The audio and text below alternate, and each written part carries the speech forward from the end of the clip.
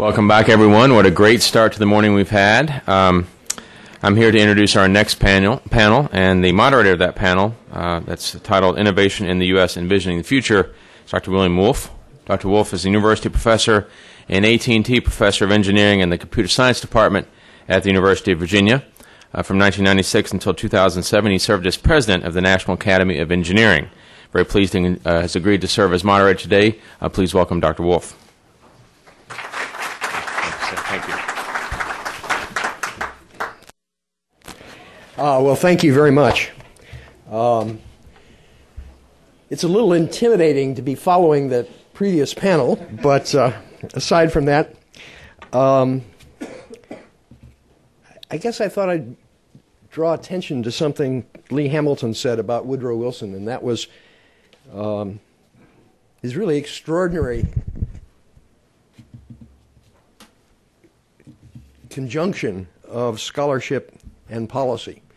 And uh, we don't see that in our political system very often. Um, on the other hand, it's been mentioned several times this morning that uh, Steve Chu is going to be named as the next Secretary of Energy. Uh, it's also been the, the report from the Academy's rising above the gathering storm, which, by the way, we call the RAGS report. rising above the gathering storm. Yes, well, anyway, uh, that's been mentioned several times. Nobody has mentioned that Steve was on the RAGS committee. Um, and so I am hopeful now that we will have somebody at a, at a high level in the administration who really understands at a very visceral level just how important um, this whole issue of innovation is. And I hope understands how urgent it is to do something about it. Um, it is not as though the rest of the world is just sitting back and waiting for us to move ahead on this. Um, I spent last weekend in Berlin at a workshop of the von Humboldt uh, Foundation where the subject was innovation, the RAGS report, um, and what Germany needs to do to move ahead. But they're not moving a heck of a lot faster than we are. Let me uh, report to you an experience that I had, and it's burned into my brain on June the 5th, 2006. I was in Beijing. I was there for the annual meeting of the Chinese National Academy of Engineering and National Academy of Sciences uh, the opening session of which was held in the Great Hall of the People, their, their congressional building, uh, the, the floor of which I now know seats 3,000 people. There were about 12 of us foreigners. Uh, so there I was in the midst of 2,988 of the best scientists and engineers in China. But the astonishing thing was who was on the dais. It was the President of China, the Prime Minister of China, and every single member of the Politburo. Um, the President of China, President Hu, gave the uh, keynote address, the subject of which was what we need to do to make China into an innovation driven country. And it was like he was reading from the RAGS report. Um, it was intellectual property protection, it was the rule of law. It was education. It was research. Um, it was scary. Because as I sat there, I couldn't help but think at that point, we hadn't passed the Competes Act yet, so we didn't have either authorization or appropriation. And everybody who was needed to make it happen in China was sitting on that dais and the heads were all going like this. Um, I, I just want to underscore I think there is great urgency in getting on with it, uh, in particular, providing appropriation. The purpose of this panel is to kick off the, the substance of this, this uh, workshop. Um, in particular, to start a dialogue with you. And so, in fact, I've I have asked each of the panelists to speak for just about five minutes, and then we're going to devote the bulk of the time to engaging in a dialogue about innovation, about the relationship of that to partnering between academia, industry, the national laboratories, and beginning the conversation about what are the next steps. Um, the panelists that I have, I, I, will briefly introduce now because you have uh, a more elaborate biography of each of them uh, in the handout that you received. But Deborah Wince-Smith is the CEO of uh, the Council on Competitiveness. Bob Berdahl is the president of the Association of American Universities, uh, previously chancellor of the UC Berkeley campus. Uh, Brit Kirwan is the chancellor of the University of Maryland System. And unfortunately, Josh Wolfe is stuck in an airport someplace. Uh, so he will not be with us. That's too bad. Uh, his perspective as managing partner of Lux Capital would have been um, very useful. We've tried to give assignments uh, to each of the speakers this morning so that we don't get too much overlap, although I think probably each of them is uh, more than capable of speaking on the full range of issues uh, to be discussed. But I'm just going to turn it now over to uh, Deborah for her comments. Thank, thank you, Bill. And I'm going to talk a little bit about the changing global landscape and then just what that means to the United States in terms of our competitiveness and innovation and creation of prosperity. And as we like to say at the Council in competitiveness, we're in an age of great turbulence, transition, and transformation. And as, as Bill said, and we know from all the work we're doing in, in this room that the uh, world is irrevocably changed. And in addition, you know, to the recognition throughout the world of the importance of science and technology and innovation, you know, the power of the emerging economies who've just, you know, in less than 10 years really become a major force, not only in manufacturing, but also as innovation players, is something that is good for the world, but it's one that has big implications for the United States. And, you know, Bill, I have to comment, you mentioned about the, the China situation, the gathering storm, and, you know, some of you remember the Council's work, the National Innovation Initiative.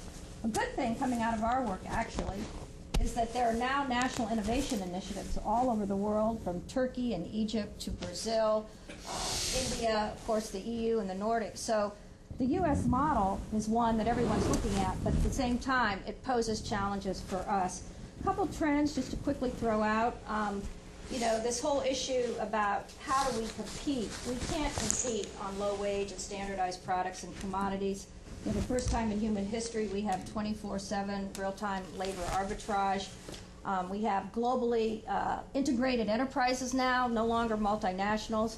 Um, there's a great book, if you haven't read it, called Globality that came out of the University of Chicago. And the title is, you know, everyone, everywhere is competing all the time for everything. and, you know, that's the reality. We're kind of beyond globalization.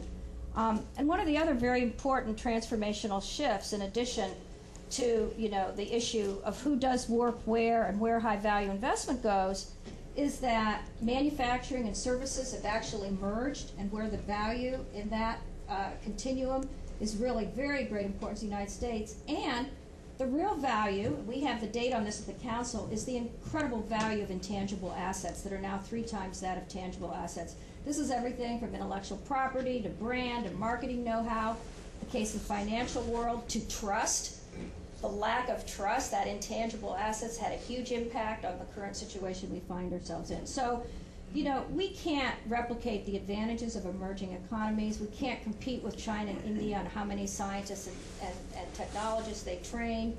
We have to have a whole new roadmap for how Americans are educated and how we're going to flourish in a society and a world where ideas and innovation matter. And who knows what to do with the new knowledge and technology once it's developed and who can capture that benefit.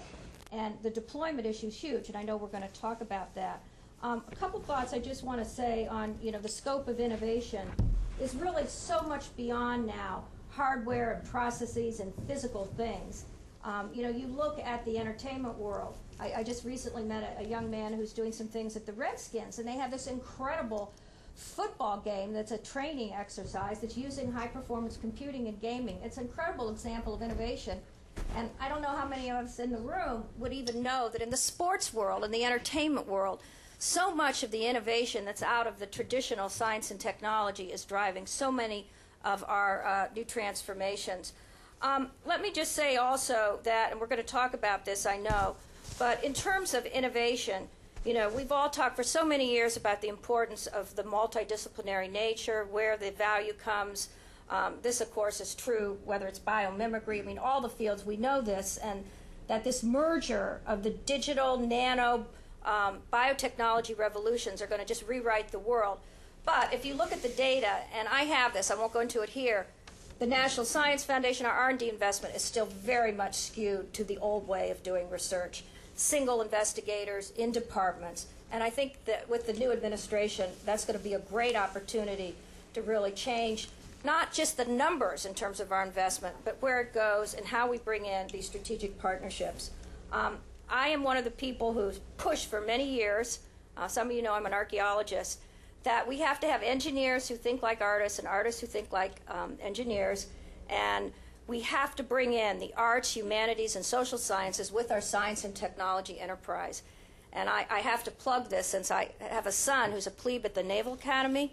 I've learned that there are only two universities, and I want my colleagues to refute this, but there are only two universities, I think, in our country that have the curriculum for the 21st century, and that's Annapolis and West Point. Why?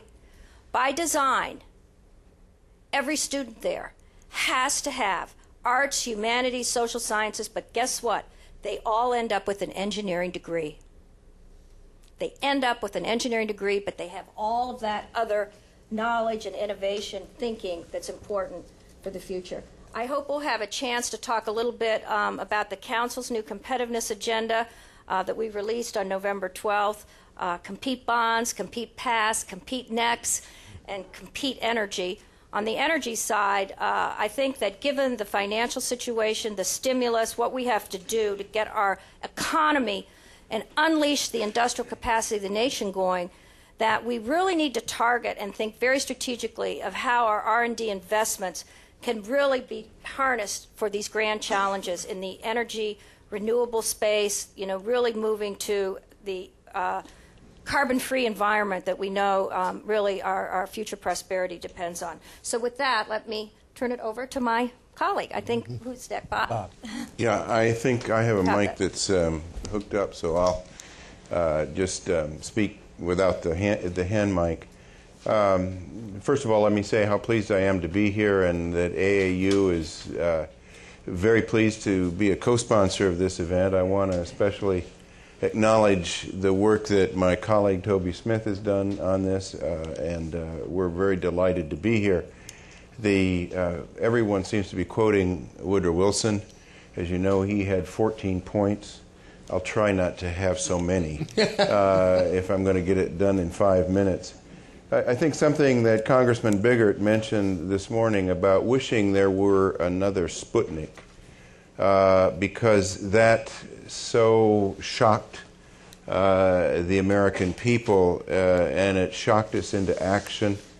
Um, it uh, is the case, it seems to me, that some of the the competition that was much less real with Sputnik uh, than it is today is nevertheless very real today and not quite as obvious as it was during Sputnik. So uh, I, I, do think we've got to uh, be very much aware of uh, what is out there. I want to just make three uh, points, some of which have already been made, and indeed, it isn't easy to say anything particularly new on, on the subject of innovation since we have all been thinking and talking about it for a long time, and our thoughts tend to converge. Um, I, I, would say, first of all, that there's a it's a kind of important truism that uh, political, uh, our, a nation's political and economic agenda is primary in establishing its educational agenda uh, and not the reverse. The education agenda tends to reflect the economic and political agenda of a country and not shape it. Uh, and as an educator, I, I, I, think that this is something we should remind ourselves because it hasn't um, always been the case, and I don't think that it necessarily is completely the case today that our goals economically, uh, in terms of innovation, are indeed completely shaping our educational uh, agenda just one case in point the average age of an R01 grant from NIH is now 42. Uh, and when one thinks about the investment of time that a young scientist uh, in the life sciences uh, makes going through a PhD program, going through uh, several postdocs, perhaps uh, obtaining an assistant professorship at uh, at a university, making him or her eligible to apply for for an in, for a grant. Uh, they are average age of 42 when they receive that first grant. Uh, that tends to be somewhat discouraging, it seems to me, to an entry into a career in the life sciences uh, if one is uh, almost halfway to retirement before one is an independent investigator uh, it's much faster, or has been, I would say, a much faster road to riches to become an investment banker. Uh, the bloom may be off that rose, um, but uh, but it is, it seems to me, uh, something that does reflect what our priorities are. When I think about the current crisis, for example, right now, with the uh, the the falling endowments that universities have, the cutback in state investment in public universities. One of the major concerns that I have is that we will we run the risk of losing several cohorts of of young scientists seeking academic careers. Uh, senior faculty are not retiring. Their retirement portfolios have shrunk considerably. Uh, universities are facing cutbacks and are cutting back their hiring or, in some cases, freezing it. The combination of these convergent forces uh, means that we're going to have uh, several years or several cohort groups of young scientists seeking um, academic careers and not being able to find positions at universities uh, for them. If this is a high priority for us, it seems to me, as we think about uh, a stimulus package, we have to think about those kinds of jobs uh, as well, and not simply uh, jobs, uh, for example, in, in the construction realm or somewhere else. The second thing that I would uh, point out, and I think Deborah has mentioned this, so I won't uh, stress it terribly much, and that is the innovation is not a linear evolution. It doesn't just simply go from a, an idea and a development in a laboratory to, a, to an end user product uh, when some company picks it up or some uh, young scientist decides to turn it into uh, a, a, an investment and an end user project product. Uh, technology uh, as technology develops a convergence of, of, uh, of disciplines and end product users happens. Uh, one need only to look, for example, at the automobile, which I'm told today, and I don't know this for a fact, has more computers than uh, the early uh, space vehicles had. Uh, that computer technology embedded in automobiles is largely done in Japan. Uh, I don't think we were in the forefront of that, that technology, but it was a convergence of the electronics industry and the emerging automobile industry that Japan had.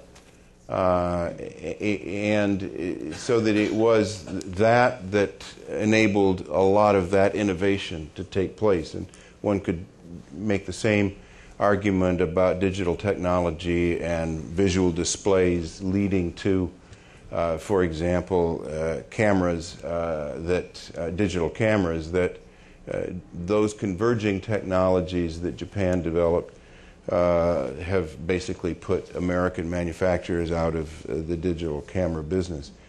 This suggests that there is in this convergence certainly the importance of what Deborah has referred to as the multidisciplinary approach or an appreciation for uh, different kinds of, of thinking about how innovation takes place and how it is applied. Uh, and in those partnerships that we develop between uh, industry, universities, national laboratories, I, I, think we have to think about that interdisciplinarity as well, uh, and not simply about the role of science and technology. One Im- interesting data point, and I don't know how it will work out, is that the new university, KAUST University in Saudi Arabia, in which the royal family is investing so much money uh, to develop a world class university in very short order, and it will be, I think, the second most richly endowed university when it is up and running, behind only Harvard and Yale. Uh, and given the current investments, maybe ahead of them, uh, it, it, will have no academic departments. Uh, so that, that that kind of effort at uh, convergent thinking is at least being experimented with in that university setting. The third point that I'd make is that uh, innovation requires coherent policy objectives uh, really across the spectrum of, uh, uh of our uh, entire policy apparatus. Uh, I would really pose the question as to whether or not we have a, coherent industrial innovation policy in this country um, whether we have tax legislation that encourages long term investment. Um, we talked, for example, this morning, one of, the, one of the topics was the fluctuation in oil prices and whether or not, when oil prices drop, we lose the incentive to uh, conserve or uh, to develop new technologies and so forth. Think where we might have been today if we had sustained oil prices from the 1970s by simply maintaining a tax uh, on them. Taxation isn't very popular with politicians. Uh, it isn't easy to pass a tax.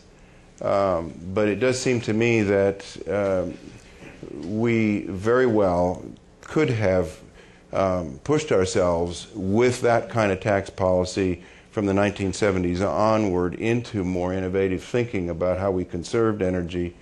Uh, if it was a little more expensive and, uh, and, and the price didn't drop but down again, as it has now, and, and why we aren't thinking about that now as a part of a coherent policy, uh, it seems to me, is, is, is a serious question uh, that we should ask. In that coherent policy as well, I have to say, I think universities have to play a role in rethinking their attitudes. Uh, Bayh-Dole was not passed as a revenue source for universities. It was passed as a an effort to get technology out of universities into uh, into products and into end use uh, kinds of things. But I think universities have come to see it as a revenue source, and that has presented, as I suspect Susan Butts will tell us uh, later, something of an obstacle to negotiating those intellectual property uh, arrangements that are that are necessary. I think universities have got to change their thinking uh, about this. We could go, we've talked about immigration policy as, as well uh, this morning uh, and so forth, but I think that we have to think about this entire range of things in an integrated fashion, and I'm not sure we've been doing that. And with that, I'll pass uh, the remarks on. Okay. Well, um, let me also express appreciation for the opportunity to in, in, engage in, in, this topic. And uh, um, I, I um, as a kind of a prelude to my uh, comments, I want to pick up on uh, something that uh, Deborah began to touch on, and actually triggered by something that Bill said. Um, uh, I was in, I've been involved, and there was actually a report released yesterday uh, with a commission uh, formed by the College Board to sort of look at the state of education in America and where we are and where, what we need to do uh, looking forward. And I, I couldn't help but think about how uh, the information in that report is in some ways relevant uh, uh, to the topic we're having right now. We have such a crisis in America uh, with the state of education, and when you think about the long term economic viability of our nation, um, you know, this has this has very significant consequences. Uh, you know, just a few, a few facts. Uh, we, are 23rd among industrialized nations in, in, the in the high school completion rate in the U.S. We are 10th in college completion rates. We have the largest, highest dropout rate in college of any industrialized uh, nation. Uh, we, we right now educate uh, about, about 40% of our th- 25 to 34 year old population has a two or four year degree, which is lower percentage than the 35 to 44 year old cohort. So we're going in the wrong direction. Meanwhile, many countries uh, have uh, 45, 50, 55% of their population with a, a, a two or, or, or four year degree. Given the demographics of our country and the uh, participation and sec- success rate of underrepresented min- minorities, underrepresented in higher education, if we do nothing, in 2025, 29% of our young adults will have a college degree. Uh, as opposed to 40 today. We will have gone in the lifetime of the people in this room from having the highest level of college attainment in the, in, in the world to the lowest among uh, the industrialized world unless something changes. That's the track we're on. And you know, it's hard, kind of hard to talk about uh, uh, being a, a, an innovative society if we continue on that path. But enough about that. Let me let me turn to the directly to the uh, to the topic uh, uh, to, of today, and and and and I want to focus on something that Bob began, you know, t- touched on a little bit, but I want to burrow in and and speak specifically about our federal labs. Uh, because, in, in, in, my opinion, this is a huge, untapped uh, resource for our country when it comes to innovation. Now, there is the, the, the results of innovation in the federal lab do make their way into, uh, into our economy, but not nearly at the uh, rate and extent that they, they probably should. Uh, just by way of comparison, we, we spend about $20 billion a year on federally sponsored R&D in our colleges and universities in the United States. And, you know, that R&D really becomes the source for innovation uh, that grows out of our uh, university, the technology transfer, the startups, etc. We actually spend the same amount of money on federal labs. So uh, you know, there is an opportunity here, $20 billion of R&D being done at, at our fe- federal labs, but we have not had a, a, a sort of consistent national policy on, uh, on, on, how to tap into that, uh, to that R- R&D.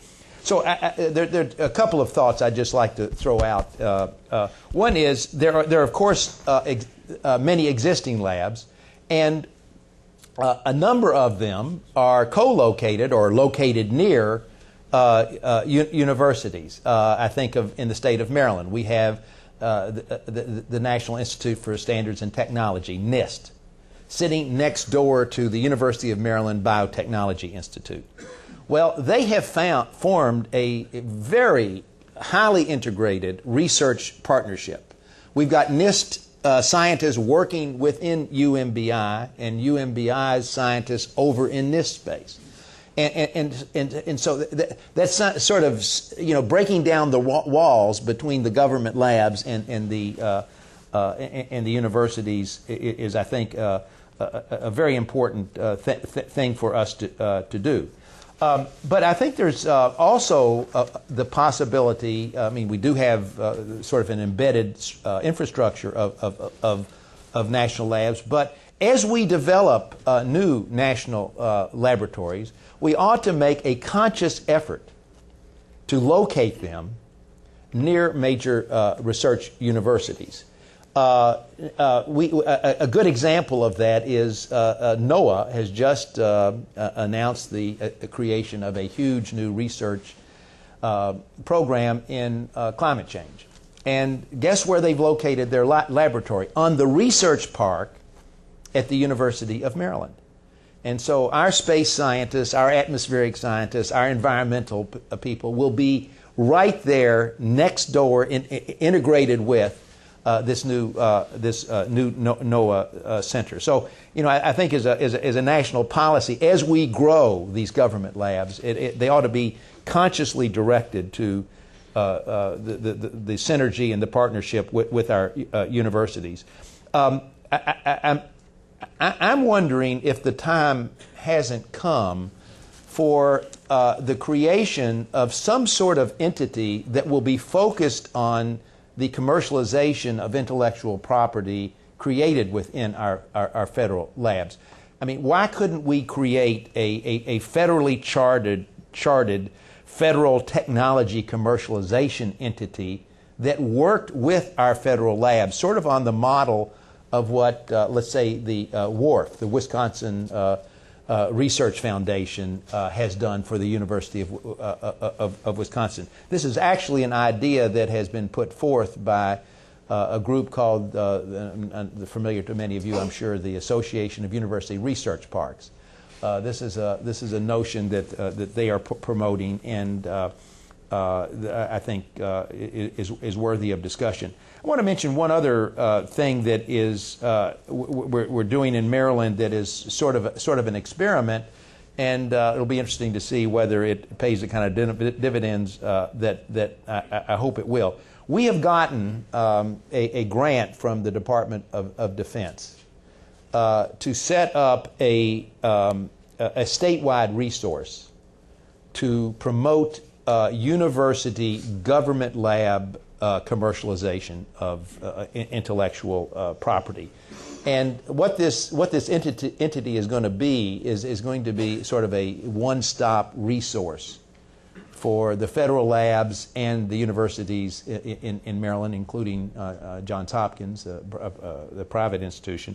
Uh, and, and, and the idea is here that th- this, this would be a service available to uh, labs and universities that would, would, would provide um, uh, technology assessment, it would provide uh, legal services. It would provide help inventors, research researchers to develop business plans, and to provide consultation on uh, technology transfer and, and, and lic- licensing consultation.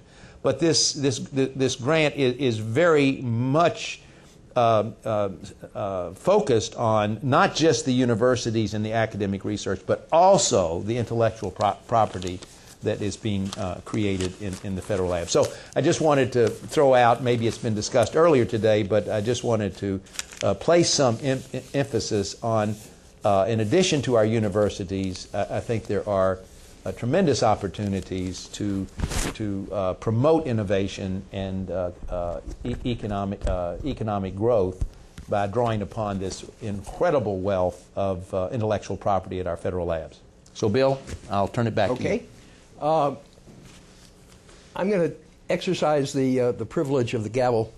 I'd like to tie together two things that, that Bob and Brit um, discussed that happened to tickle a particular uh, annoyance of mine. Um, Bob pointed out that policy is a reflection of society. And uh, there's a particular reflection that I am disturbed about. Um, if we go back 100 years, um, it's very clear that the population of the United States considered higher education a public good. We created the land grant universities. States generously supported their universities. I certainly went to college on scholarships um, at a time when the tuition was $200 a semester uh, because the state supported the University of Illinois very generously. We have moved into a realm where higher education is now viewed as a private good. Um, at the University of Virginia, 7% of the revenues of the university come from the state. 7%. Uh, our tuition is now still cheap relative to Harvard or MIT, but it's twelve, thirteen thousand dollars a year. um, we guarantee loans, but give very few scholarships. All, I think, reflecting this shift from the view of higher education as a public good to that of a private good. And I think a lot of the data that, that Brit was, was giving us is also a reflection of that same shift in attitude, and I think it's a terrible one. So, now let me open it up for, for questions. Uh, let's get a dialogue going. Yes? Deborah, you brought up the, the point of multidisciplinary teams in conducting research and the need for, you know, students to be trained in that way, which I agree with quite quite vehemently. But the challenge you have at the universities, and please, the two faculty people up here, correct me if I'm wrong, is that at a university, a professor is rated to get tenure based on his individual research and his individual publications and his graduate students. So how do we, you know, in looking at creating stronger partnerships, how do we enable that by reducing some of the constraints that are placed on young faculty? I mean, we I work at a national lab. We get a lot of young people there coming into the labs, but we don't have that problem because they're not getting tenure. We hire them; they have a job. But if they're looking at teaching at a university, you know, their number one concern is how do I get tenure? And so, how do you change this paradigm within the university system to enable these multidisciplinary teams and actually accelerate innovation at the universities? Well, I'll defer um, on some of that to my colleagues who, you know, have led universities or in the leadership of the university world. But just commenting from the competitiveness side, and also, you know, looking at the broader economy. And, and I've had a lot of experience and involvement with the federal labs, and, and I very much endorse the comments that, that both my colleagues made about including um, the federal labs in this very powerful infrastructure of what we want to accomplish. But one interesting thing about the federal labs, um, they are by design multidisciplinary because they're working on problems that you know require chemists, biologists, you know the whole range of things, and they have very interesting management systems of how they matrix that expertise in. So I know, for instance, at Livermore, they'll have an, uh, an engineering directorate, and you'll belong to that, but you'll be matrixed out to work on the National Ignition Facility or whatever huge project it is, and so they keep the depth of their disciplinary expertise growing, but then it's amplified by working in multidisciplinary teams. And you know that's a very different mission that they're doing than the core teaching and, and basic research that's so important in our universities. But I'll throw something out controversial. I was just kind of whispering to, to Bill here. You know, look what's going on in our economy. I mean, look what's happening to every industry. I mean, I, I just have had talks with three CEOs of the council. I mean, look at what companies are doing. They're downsizing, they're letting people go, massive restructuring, what's happening in the auto industry. Is this environment that we're in now calling for serious restructuring in universities? How people are rewarded? Is tenure something that is a long term viability model? I don't know. But you know, this is a huge part of our economy, and it's stressed, the tuition stressed. And, and I'll just share one anecdote, um, and I won't mention which state this is, but a colleague of mine told this story. She went to a very important state with a fabulous university system for a discussion on the college, you know, admissions process.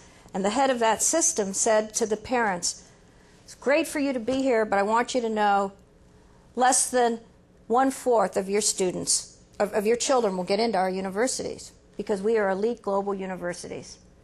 And apparently, there was almost a riot in the room, and people said, Why are we paying taxes if there's no chance that our kids can get in? So, there's a lot of complexity on this issue of public support and everything. But back to your core question, you have to change the incentive system. And I, I think, again, uh, Brit and Bob and have, have led universities, and you know the complexity of it, and the governance system. Well, well, Deborah, I just want to uh, reassure everyone I wasn't that system head. No, that you said weren't. that, so, uh, If you were, I wouldn't have told the story. The problem is, I might have been. you would have remembered the ride in the room, but I was. you, you, you know, I, I, think the, the question is, is very well uh, put and, and, and, very very appropriate. And and uh, uh, you know, I, I think the uh, that, that universities, uh, of course, don't change uh, very quickly. Change at university is measured in gla- you know, at glacial speed, I guess, is the One, way one, we, one grave at a time. one grave at, at, at a time. At, at, at a time. But I do think um, that uh, some things are happening that uh, are leading to some reconsideration of structure and and um, means of promoting inter, interdisciplinary activity for a, a number of, of, several reasons. First of all, as, as Bob knows well, uh, so many of the large research grants now that go to institutions demand inter, interdisciplinary activity. So universities, in order to, to maintain their research, are having to bring together teams from, from across, the, across the institution. And this is forcing them to begin to look anew at how rewards the, uh, at, at, the reward structures. Now, whether it will lead to some reconsideration of, of, of tenure, Deborah, I rather doubt. But uh, I do think that we're going to see some uh, progress on the very point that uh, you made. Let me just give one example, and I'm sure Bob has other things to say on this, this subject. But um, I'm happened to be, I was mentioning to Bob, I'm, I'm chairing the reaccreditation team for UCLA, which is one of America's great research uh, universities. And uh, when, for those of you who aren't involved in this esoteric uh, process, when universities like UCLA are, are, are reviewed, for reaccreditation, they put some major issue they're interested in working on on the table for uh, scrutiny, investigation, and new strategies. And, and the thing that UCLA put on the table uh, is how do we reorganize ourselves in order to manage and promote and reward interdisciplinary activity? That's great. This is the, the issue at UCLA. That's you know, here's this great university that, uh, uh, but it's put that issue on, on the table, and uh, I think that's happening at other other places. But I think we're all going to learn from uh, the the models that uh, come out of places uh, like UCLA, who seem to be taking this subject on with a real vengeance. Well, I, I, I think that what you said is absolutely true. Uh, we announced while I was chancellor at Berkeley uh, what we called a health science initiative. We don't have a medical school at Berkeley, uh, but we recognized that that the disciplines that were represented on the campus had were doing a great deal of research that had bearing on disease and on health, uh, and we had uh, roughly 300 faculty from I don't remember how many dozens of disciplines that uh, became aligned with this. This also then dictates how facilities are built. So that the new facilities that are being built on most university campuses today are not disciplinary buildings. They are buildings that comprise uh, many, many different disciplines. The integration of the physical sciences and the life sciences is, is really a, a, very, very strong uh, tendency. You can't do uh, biology today without strong computational capacities.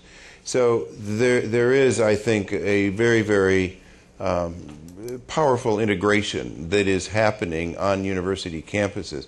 I'm not sure we, we do move with such glacial speed. I think that that um, the the issues that we um, that we confront are recognized as all having multidisciplinary components, so that uh, it is changing a great deal about how we do research.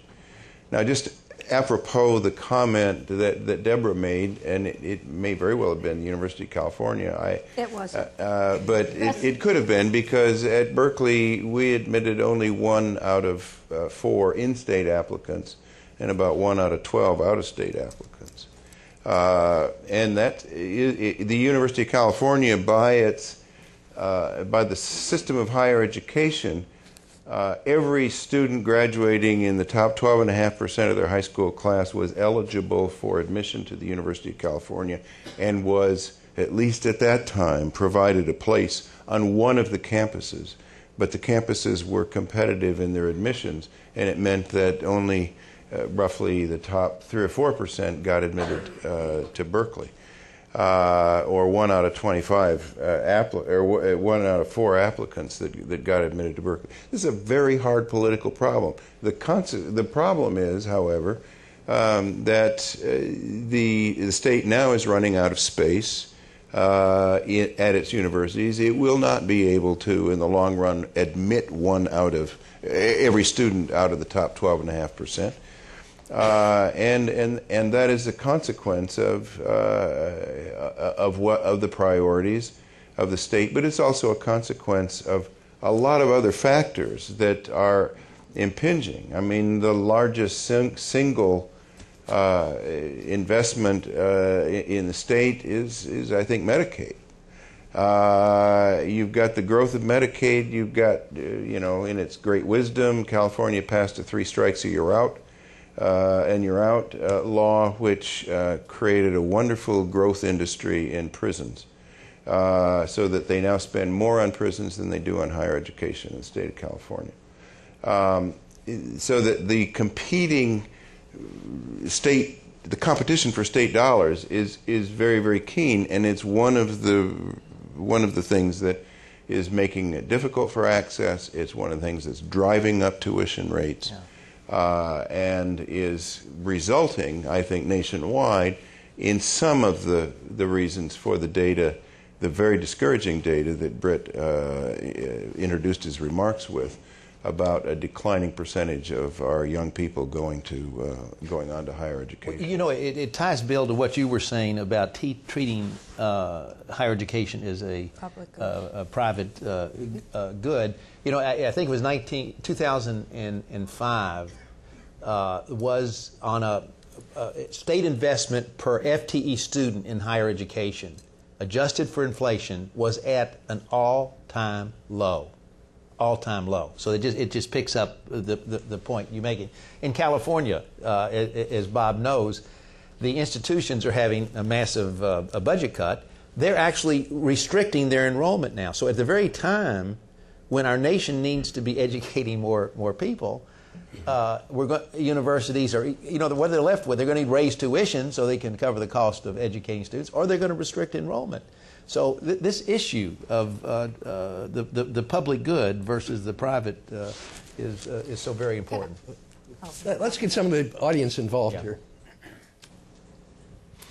Hi, I'm Rick Stulen from uh, Sandia National Labs. Thanks very much for your comments. I wanted to follow up on a, a, comment that Senator Bingaman made this morning and tie it into one of the themes that's come out here. Uh, the senator said, sort of a key question here is how can the government incentivize partnerships? You know, how can the government incentivize partnerships? You've talked about the national laboratories or the federal laboratories as being an untapped resource. In fact, we have over 20,000 scientists and engineers eager I believe, to to play their role in this national uh, agenda.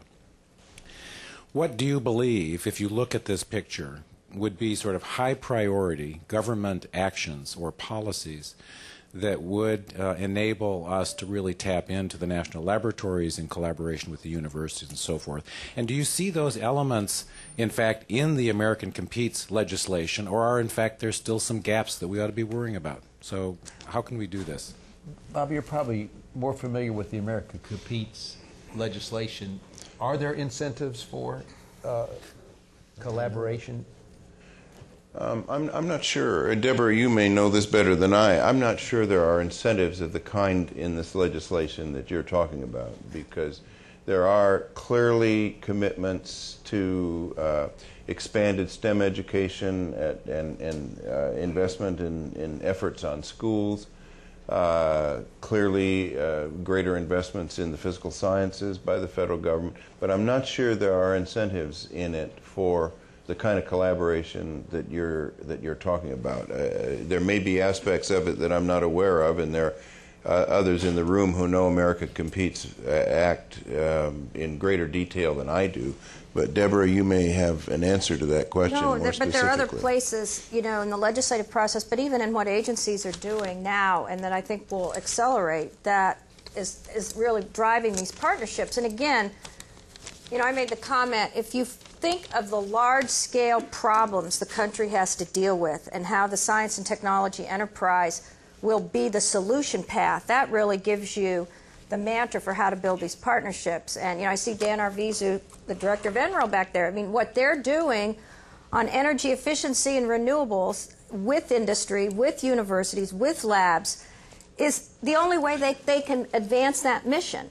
And so I think we have a fabulous opportunity to really think about how do we create a network of test beds around some of these problems that bring together these three players. And another area where we're talking about the tools of science, the tools of industry, how we're going to revolutionize manufacturing in this country is modeling and simulation as the third leg of all of this. Where does that capability reside? It resides in our national labs, it resides in our universities, there's some industry users.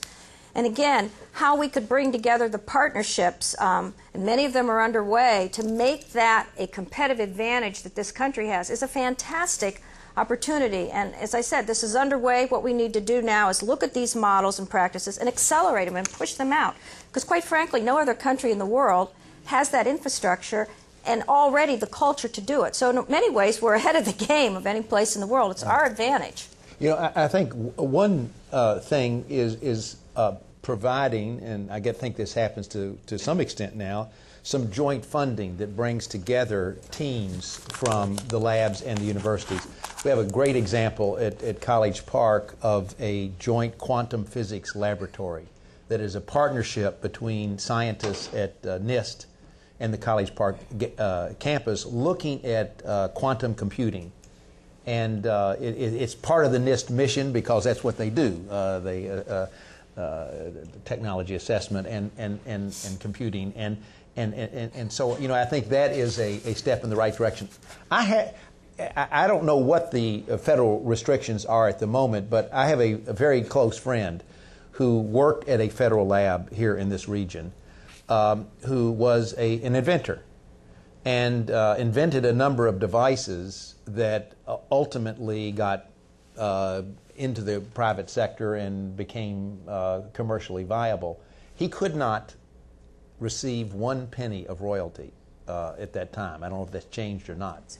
But at the last, uh, no. not, not, true now. No, okay, that's changed. Years. Good because many but, years. But, but, he actually left the the, the laboratory, and but it, it, yeah. the policies now permit much like they do with at universities. Is that correct? That that's in the actual federal tech okay. transfer legislation, right. the royalty share. All right, Kevin. Hi, I'm Kevin Finneran with Issues in Science and Technology. Um, I've heard several of you talk in, in glowing and inspiring terms about what's involved in innovation and what a rich and complex process it is.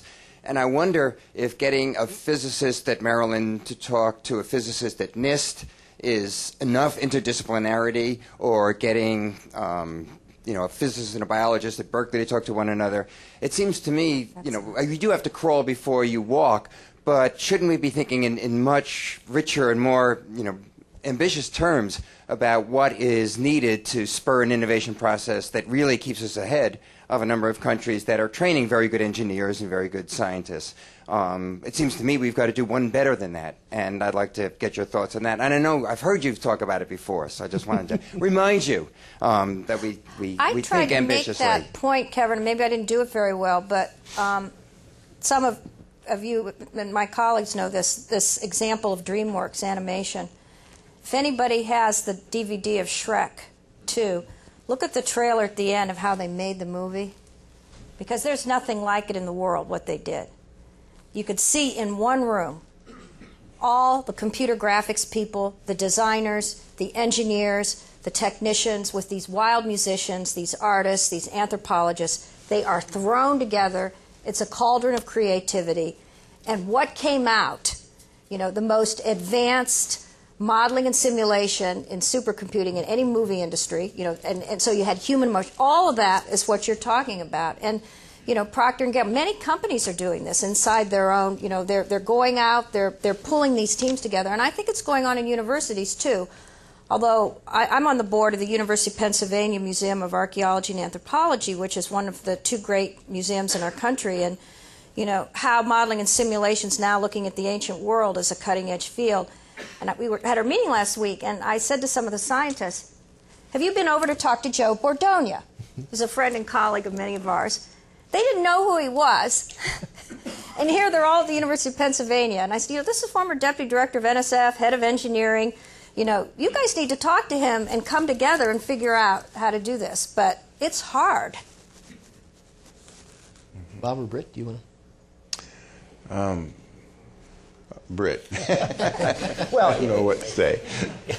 you know, I, I, I think that um, uh, many of the, the, the big issues uh, of the day are driving us in, in the direction uh, you just you, you're, you're, you're uh, advocating. For example, I mean the whole thing with climate change.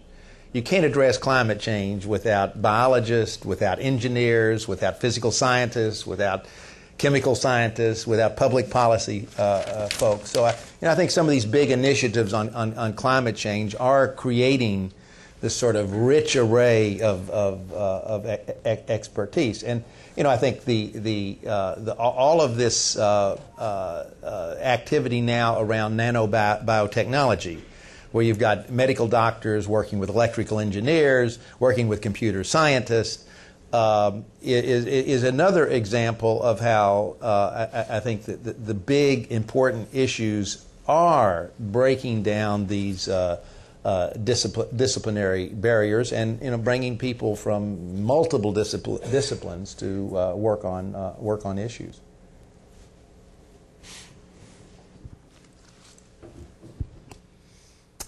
I'm Michael Lubell, and uh, I wear two hats.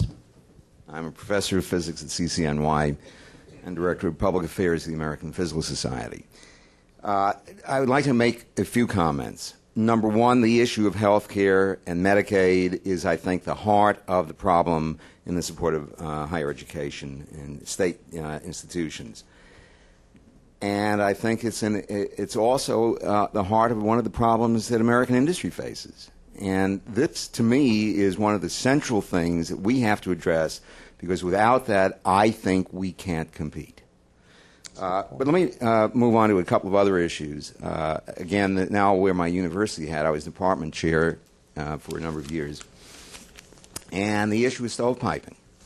It's fine to talk about interdisciplinary research, but the reality is that many provosts, when they start looking at individual departments and the support the departments will get, say, how many majors do you have? Now, departments, therefore, try to channel the kids into the majors so that they get the support. The same thing happens with faculty members. Uh, I, when I was uh, department chair, I wound up hiring 10 people, and one of the, we were looking for somebody in biophysics. And this guy came through, a terrific guy. His degree was in chemistry. And a number of my colleagues said, well, we can't hire him. He's a chemist. And we're a physics department.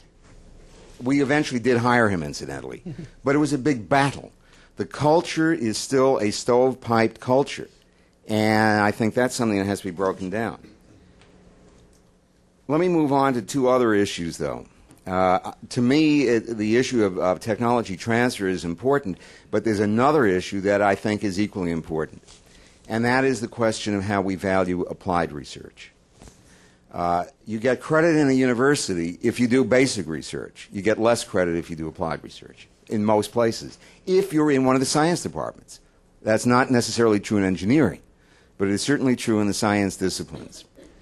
And as Vern Ehlers has pointed out, this is the valley of death. And I think that is one of our biggest problems in this country. We don't value it, at least in the academic circles. Uh, more, uh, we, we do more of that in the national laboratories, and I've, I've, worked at three different national labs. But let me end with one other comment, and that is if we are training people for, uh, for whom there are no jobs, we're not achieving anything. And I think we have to look at this system as an integrated whole.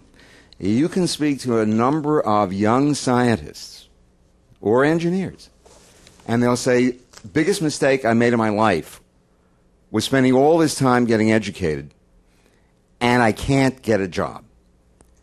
And I think we have to look much more broadly. It involves things such as the R&D tax credit. It involves how we tax corporations. We need to have a much more holistic view of the system because otherwise we're not going to get more people into it. We're not going to get the best and brightest. Uh, well, they won't go to Wall Street these days, but you know they'll find something else. And I think this is really at the heart of it. Um, l- let me just begin with a couple of comments because I I really uh, uh, agree with virtually everything that you said. Uh, I think that uh, clearly the healthcare issue is one of the issues that is also driving the cost of universities because they're employers and, and have to provide health care as well, and that's gone up double digits uh, for universities um, every year. Uh, as far as the stovepipe culture, I, I think, interestingly enough, um, I, I, think that's breaking down, but uh, where I saw this breaking down uh, the, the most, uh, uh, I, I, think, substantially was in, in, in confronting the paucity of resources that some universities had to confront. I, I was began my administrative uh, career. I'm a historian by training, so I'm really an interloper here anyway. But uh, I uh, was a dean at the University of Oregon. The University of Oregon did not have much in the way of resources uh, as, as research universities go.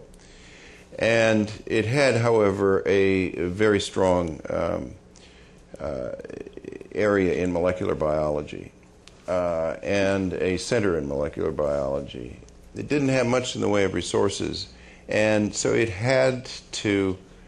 Uh, it, it hired people regardless of field. Uh, it was an inter, it was an interdisciplinary center, and they simply had to hire the very best person that they could possibly find, regardless of field, and put them in the center. And and and I, and, and I and I was struck by the fact that. Uh, another principle that they followed was that the last person hired, who was, who was usually the youngest person on the faculty or the newest faculty member, had to serve on the search committee for the next person hired because they, uh, they, they recognized that these younger faculty were, uh, had, uh, uh had a better sense of where the discipline was going in some respects than those that were embedded in it. So those were some principles that it seems to me universities can use to, to get around um, that stovepiping issue. I agree with you about applied research. I think it has to be given greater recognition uh, in, in, in the process.